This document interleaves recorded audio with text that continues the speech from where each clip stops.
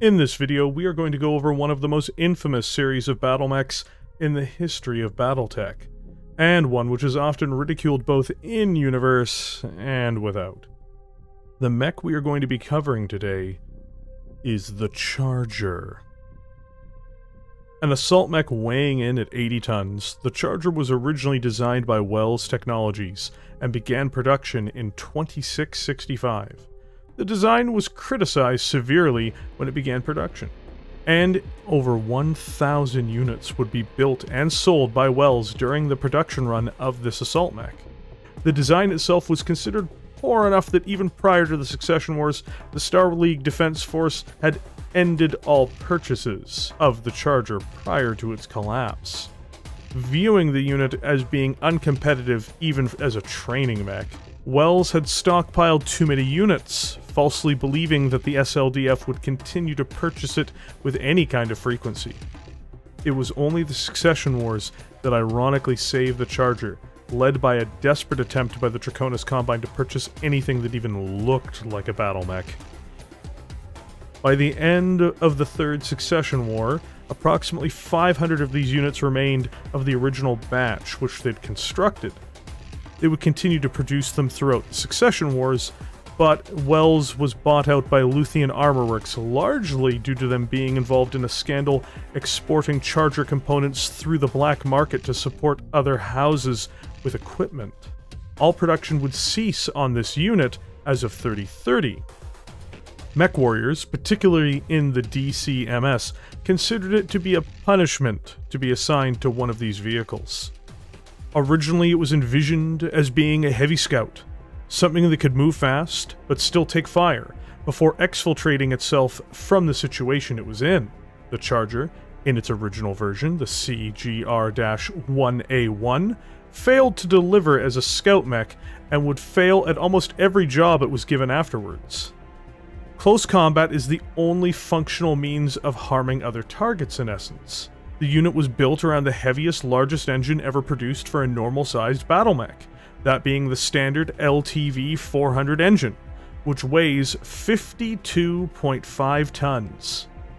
This engine provides the Charger with a running speed of 86 km per hour, which also gives it 8 movement points in-game.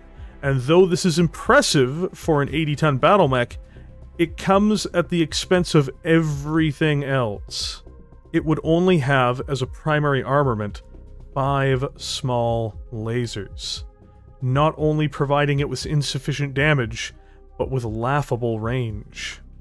In addition, the unit possesses, for its defense, 10 tons of armor, which is substandard for a mech in its weight class. From a gameplay standpoint, and from an in-world standpoint, the standard charger is arguably the worst mech ever designed that was produced in any significant capacity. It's big, moderately fast, and outperformed in almost every respect by better mechs, and mechs which weigh less. For instance, a Wolverine has the same armor, can jump, and outguns it, and weighs 25 tons less and costs significantly fewer C-bills. To call the Charger a failure is an insult to all other failures by placing them in the same field as them. The scale of this mech's inability, especially for the money, is catastrophic. Some factions would attempt to gain usage out of it during the Succession Wars, and it would see a rebirth once the late generation Starleague era technology began to become increasingly available. Even the Draconis Combine would resume production and utilize its chassis design for other mechs once this became available.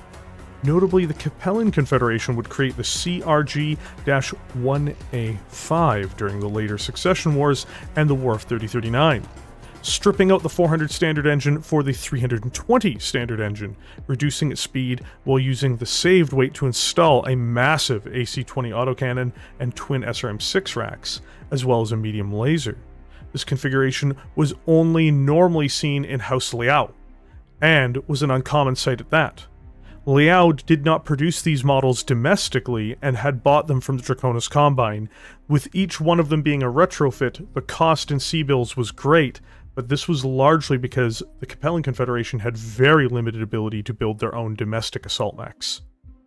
Much later, and first produced in 3049, just in time for the clan invasion, the Charger, with the benefit of rediscovered technology, was able to finally fulfill some of its original role in an adequate sense. This new series would be classified as the CRG 3K. The Draconis Combine would install a 400XL engine into the chassis, saving significant weight. It would then install an LRM-20 for long-range fire, as well as four medium-pulse lasers, giving it significant teeth in close, especially in comparison to before. Jump jets were applied to the design, allowing it to leap up to 150 meters. Its defensive capabilities were also bolstered by ferro fibrous armor.